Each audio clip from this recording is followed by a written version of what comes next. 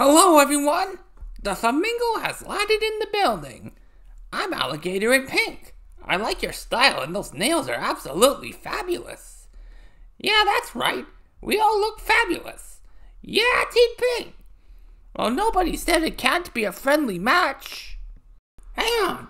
If we are all going to get along well, I think Guardian Angel and Wolf need to come clean on their mistake they made back in the groups.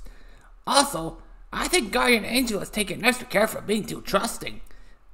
Wow, I did not expect Guardian Angel to be so stubborn after Cowboy's elimination.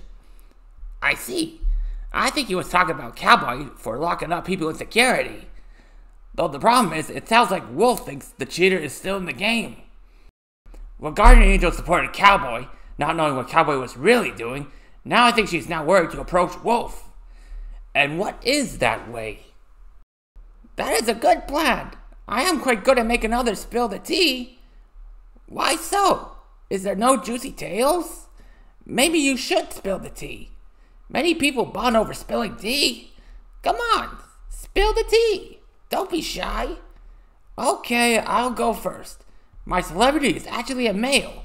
I am a girl because I chose to be a girl, but when you hear me perform, you will tell that I am not.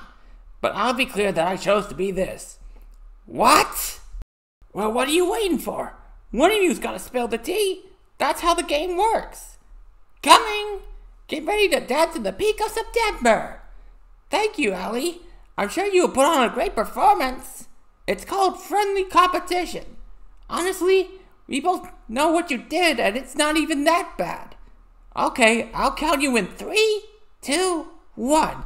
Yay! The tea has finally been spilled!